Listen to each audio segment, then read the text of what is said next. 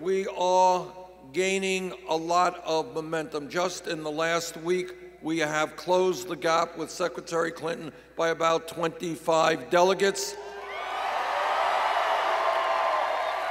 We won overwhelming, unbelievable victories in Utah and Idaho with over 75% of the vote.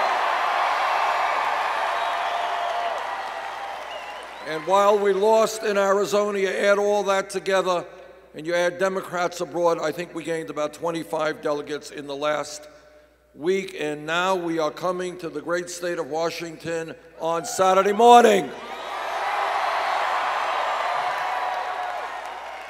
What we have found in this campaign is something very interesting, and that is we do well when there is a large voter turnout. We do poorly when there is a low voter turnout. In other words, when working class people and young people, people who are, have not often been involved in the political process, stand up and come out, we do well. But when they don't, we don't. So I would ask all of you on Saturday morning. I guess the caucuses begin at 10. Get there earlier, bring out your friends and your uncles and your aunts. Let's have a great turnout, a record breaking turnout in Washington on Saturday morning.